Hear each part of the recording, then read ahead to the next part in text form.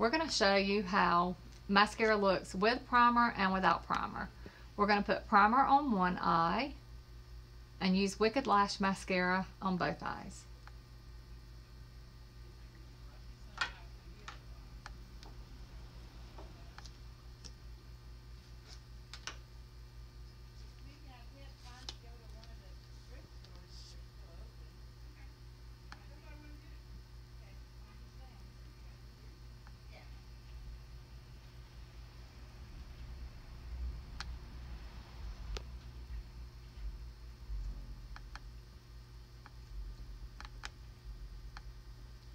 See the difference?